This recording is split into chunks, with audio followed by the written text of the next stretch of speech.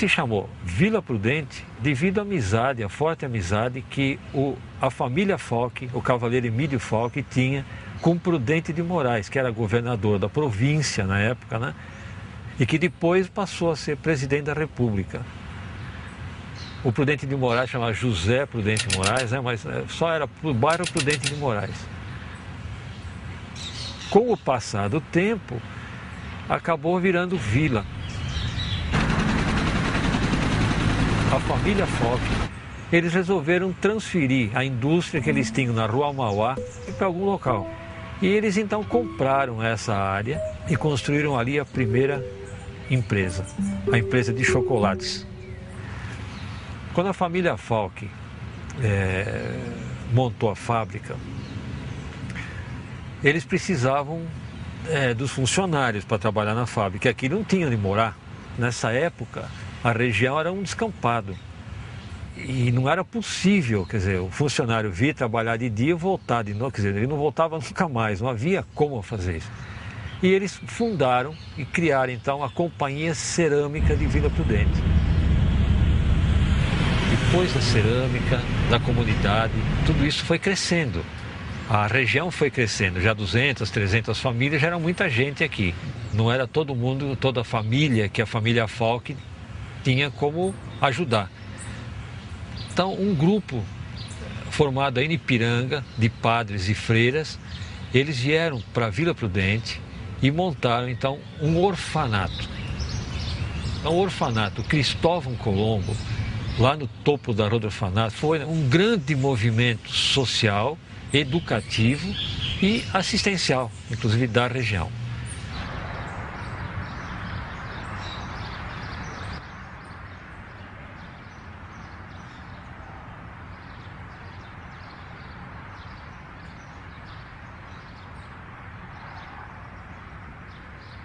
Nós temos uh, como limite geográfico as subprefeituras de Moca, Aricanduva, uh, mais a leste São Mateus, mais a oeste Ipiranga e a sul temos divisa com município, né, município de São Caetano e de Santo André. Dentro das subprefeituras, então nós temos os distritos e dentro dos distritos temos os bairros. Na subprefeitura de Vila Prudente Sapopemba, ela é composta de três distritos: o distrito de Vila Prudente, São Lucas e Sapopemba. No uh, distrito específico da Vila Prudente, nós temos alguns bairros que nós vamos destacar aqui.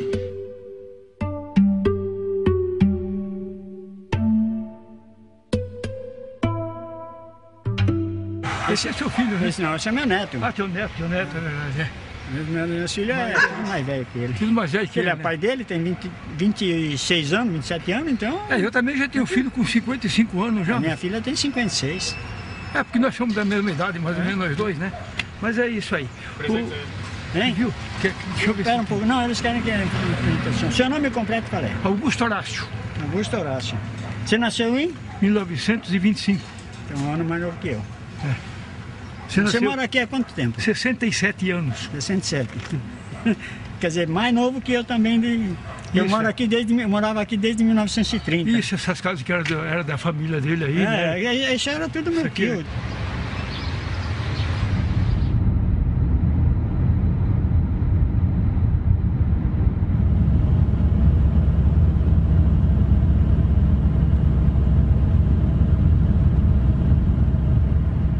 O meu avô, quando veio aqui, ele, ele veio, ele casou e já veio para cá. Não veio como imigrante e veio com o dinheirinho dele aqui. Tanto que ele comprou bastante terreno e, e, e basta, e são em dois lugares. Na, na, na Rua América Vespucci, que não era esse nome, era outro, e na Rua do Fanato. Quando as pessoas eh, tinham familiares que convidavam para vir para, o- para o bairro, então qual era o ponto de referência? Era a casa do Iso, né? Ah, o armazém ah, ah, do, ah, do, do Patané, ou o armazém do Amorati, ou o armazém do Paulino.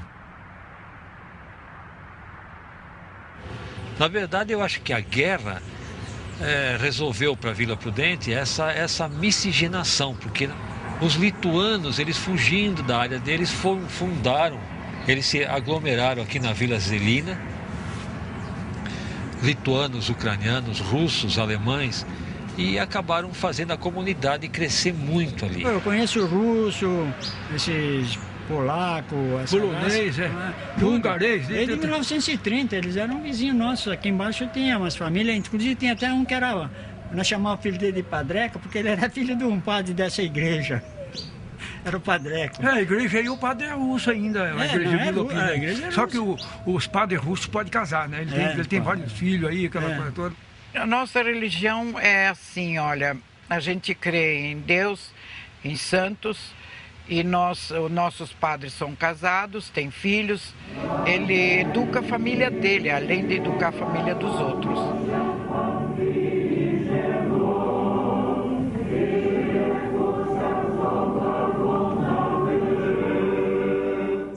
Essa paróquia é a primeira igreja russa ortodoxa no Brasil, construída aqui por um missionário ah, que veio da Rússia ainda. Ele ficou conhecendo a colônia aqui na Vila Alpina, ah, conseguiu, junto com os moradores locais daqui, com contato com o Dr. Vicente Giacalini, que ele era praticamente dono de quase toda a Vila Alpina aqui, e estava começando o loteamento aqui ne- ne- nesse, nesse local.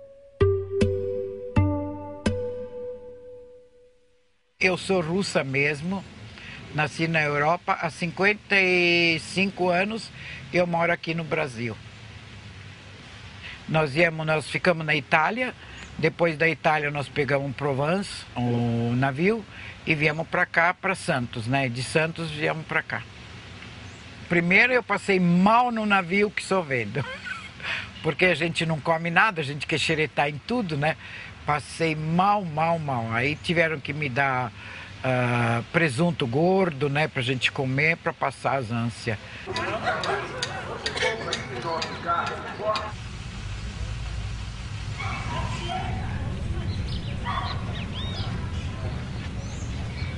Estamos aqui desde 51, que tinha muitos, muitas famílias morando aqui na Vila Bela. Só nessa rua na rua de baixo, tinha quase mais de 15 pe- famílias. né? Eu lá já não tinha ninguém, perdi meus familiares no tempo da guerra. Então eu fiquei só. Então naquela época, para mim, era assim: tanto faz, apanhar como bater era a mesma coisa. Então pôs o peito para fora do mundo para ver o que que dá. Deu isso aí. Agora, lá onde eu morava, lá no. Eu não vi quase Sabia- guerra nenhuma. sabia que tinha tava em guerra, mas não- Era uma cidadinha bem pequena e, e aldeia mais pequena ainda.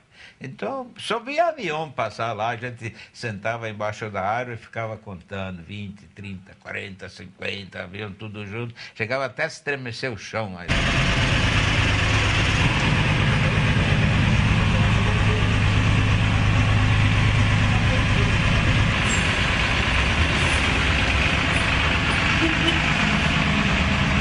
Minha mãe, o dote da minha mãe era uma vaca. Pelo menos uma vaca ela ganhou de dote. E meu pai não tinha para o que dar para as filhas de dote. Se as moças não tinham dote, não casava. Então, o que era a preocupação?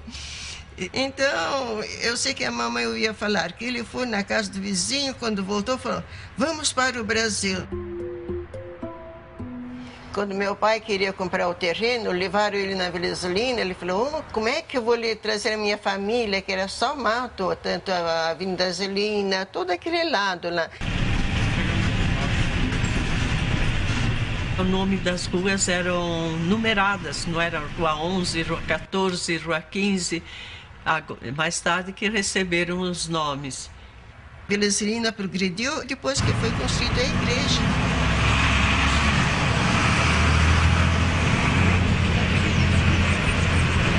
Vila Vera bem atrasada, viu? Nós viemos aqui, não tinha nada e continua, não tem. Que nem antigamente. Eu, por exemplo, eu sempre procurava lugar onde tinha um bailinho, qualquer coisa aí, quanto era solteiro. Não, porque ele- a, A brincadeira era aqui no vai e vem. Não era lá. Na Vida Serena não tinha nada. Chama-se footing, mas na nossa, na nossa juventude era o vai e vem, em que os jovens ficavam parados e as moças ficavam na rua passeando, Capitão, né? A rua Capitão é? Pacheco Chaves. Não, saía muita briga entre os, os bichos d'água e, e, a turma do Oriente. Muita briga. Ah, bicho d'água eram os, os russos, Múlgaros, os russos, polo, né, poloneses, ah, ah, poloneses, que mais? Tinha. Ah, lá, lá, lá vocês davam mesmo. O negócio lá era na base de leia-se. Ou você se comporta, ou apanha ou cai fora. Porque eles vinham lá e queriam cantar as meninas da Vila Prudente, então eles apanhavam para burro. E a recíproca era verdadeira. É, é briga, isso aí é briga. Vila Gelina era a de... russa é mais ou menos igual a. Quer ver uma raça que eu posso te dizer? Vamos dizer, libanês, essas raças do Oriente, enquanto são moças, até 20, 22 anos, é uma beleza. Passou daí, beleza delas acaba. Não sei porquê, viu? Não, é verdade mesmo. Beleza delas acaba. Como que é? Ela já não fica tão bonita. Elas são bonitas? São bonitas até os 22, 25 anos. Depois, perde. Perde o brilho, perde tudo. Não é que nem a, a nativa aqui, que com 50 anos você vê cada mulher que. Ah, não. Não, é verdade, não é? É, é.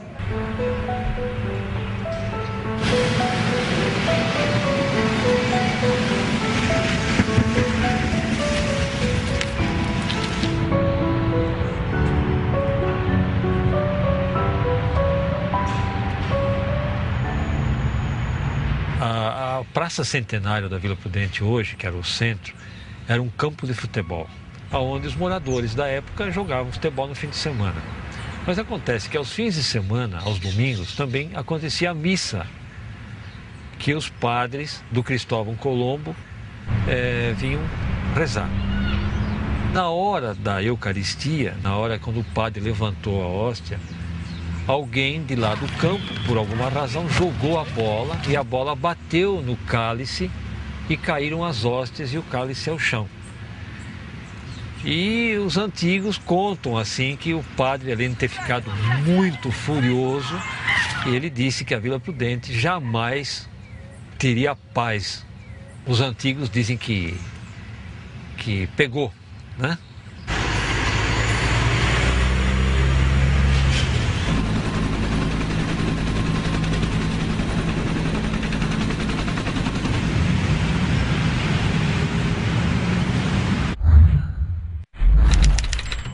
Mais ou menos 60 não dava enchentes aqui, né?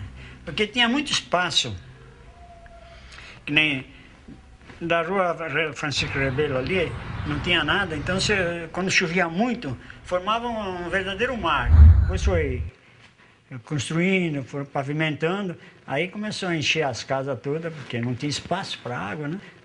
Principalmente na cabeceira do Tamanduateí, e o rio vem já na plena, que a gente chama, vem cheio, e as nossas águas não conseguem adentrar ao rio Tamanduateí. O rio, não, agora ele é reto, né? Foi retificado, mas o rio vinha até aqui perto de casa, assim. E era assim, né?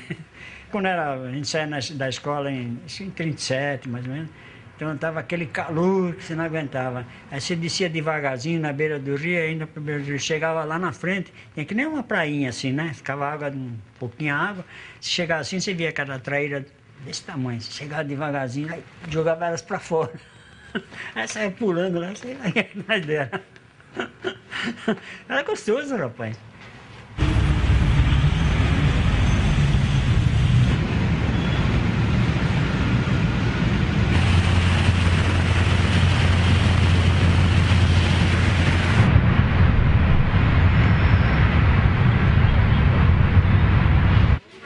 Nós temos aqui ela 51 anos de documento. Mas essa favela, pela lógica, ela deve ter 75 anos. Porque tem pessoas de 70 anos que moram aqui dentro. É, bem dizer, nasci, nasci e me criei aqui, né? 25 anos de idade, né? Eu me criei aqui na favela. Já tem 70 e pouco, né? Você chegou em quanto? Chegou em. Você chegou em. em Eu sei que eu tenho 34 anos dentro. Quando essa favela foi. Ela não foi invadida pela favela do Cambuci. Coisa que eu não sabia. Ela não foi doada, ela foi invadida pelos. pela favela que. Tinha no Cambuci. Depois que Fizeram consegui. despejo, aí. Aí invadiram essa favela. Aí quando nós- eu cheguei aqui, tinha 12, só 12 barracos. Coisa que eu não sei, ela sabe. Aí não existia nem luz, não existia encanação, não existia nada.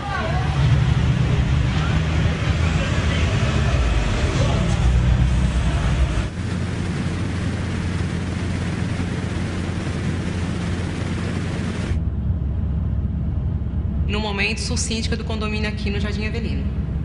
Do condomínio temos o, o playground para as crianças, tem sala de recreação, tem mini golf, tem quadras esportivas, né?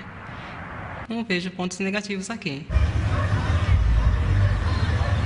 É, a favela é um, é- é um- problema, né? Acho que o pessoal tinha que verificar com carinho é, essa parte, porque e cada vez está maior, né? A gente passa por lá, cada vez está maior, não sei, é o- deveria um projeto, né? Elaborar um projeto para sanar essa,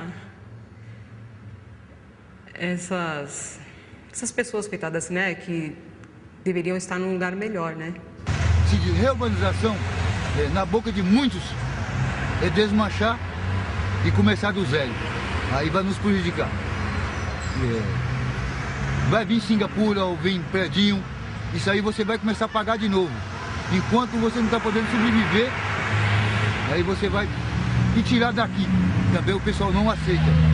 Se o pessoal, sei lá, colocasse em algum outro lugar, fizesse um projeto para eles, né? Para não, porque passa lá em frente, dá um- uma coisa assim, né? É diferente, né? E cada vez maior, cada vez maior. Quando fala assim reurbanização, teve aqui ao lado, nós tivemos umas, mais de mil, mil duzentas famílias que foi levado para o outro lado do mundo. Essas pessoas seriam, eu vou ser bem claro, seriam carroceiros. Aqui dentro de São Paulo eles sobrevivem. E para onde levaram, eu não gostaria de falar a palavra pesada, mas vou falar isso.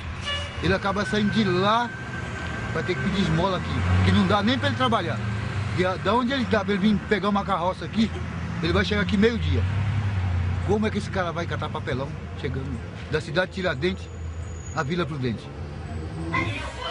Dentro de favela tem problemas, mas tem muita gente boa.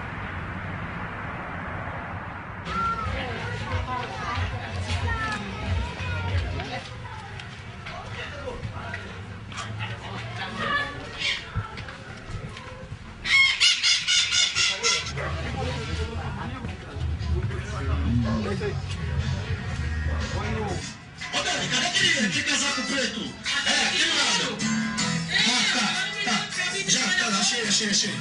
Vamos. Caralho, 40 minutos atrasado, mano. Cadê o Keno, mano?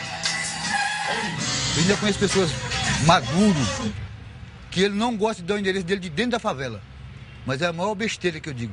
Quando eu era assim, tinha menina de 17 anos, existia discriminação nas firmas, né?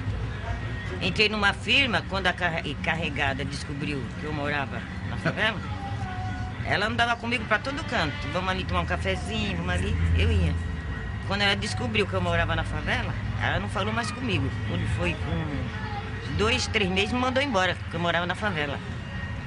O preconceito é o favelado que faz. Ele não, deve, ele não pode se sentir favelado. O que, que você faz lá? Diga, eu sou amigo dos amigos. Muitos cobram como presidente e não gostam dessa palavra. Eu acho bonito agente comunitário. Esse negócio de presidente nem pro Lula não pegou bem, que dirá para um favelado. Bairro foi muito carente em fazer com que o empresariado local apoiasse as atividades do bairro. Era muito difícil.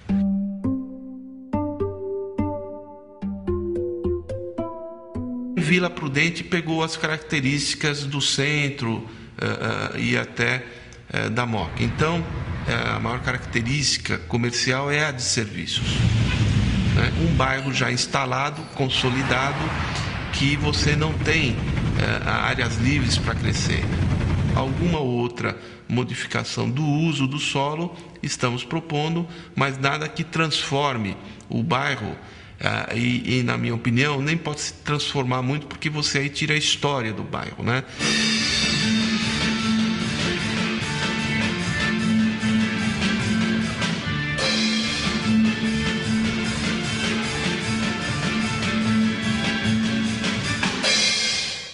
Gente, nós viemos aqui e a gente se preocupava não para nós, para ver se os filhos depois têm alguma lembrancinha, porque se não tiver essa igreja aqui, não tiver essa cidade, pouca, pouca gente ia saber alguma coisa. Eu fazia parte de um grupo folclórico russo. Meus filhos também dançavam no grupo folclórico russo. Tem foto deles, tem tudo. É gostoso.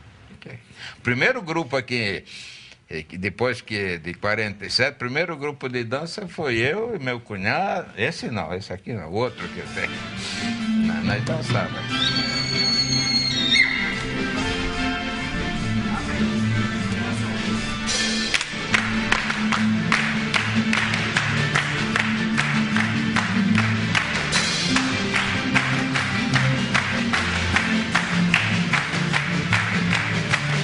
A gente faz borscht, a gente faz strogonoff, a gente faz vareniki, que é ravioli russo recheado com batata. Tem outros recheados com carne.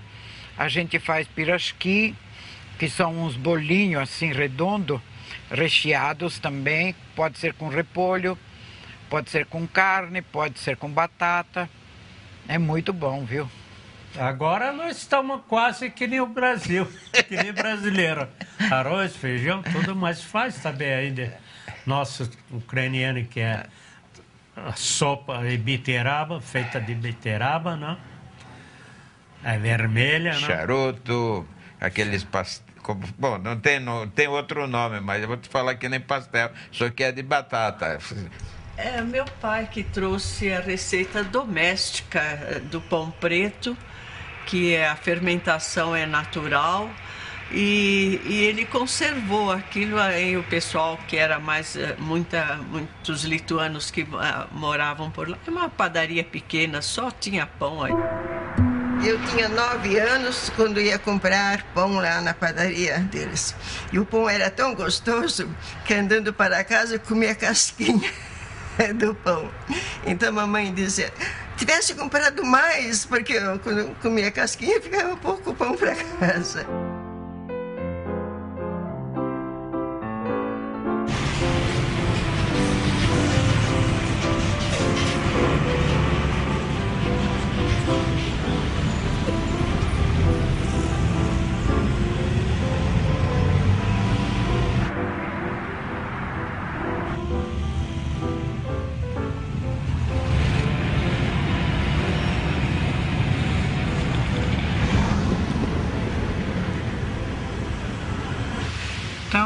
Nós a vida foi, graças a Deus, foi difícil, mas. mas... foi uma vida sacrificada, mas foi boa. Ele fala de hora em hora. Não, esse não é Bota o pé na cabeça desse cachorro. Pode entrar, Não, tínhamos assim ninguém específico nessa região. Vou pedir para repetir a resposta. Ah.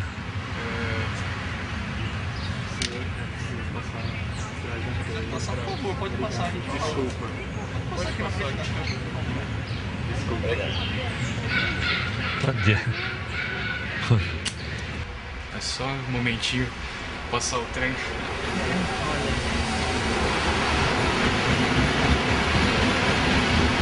Estamos viajando de trem mesmo.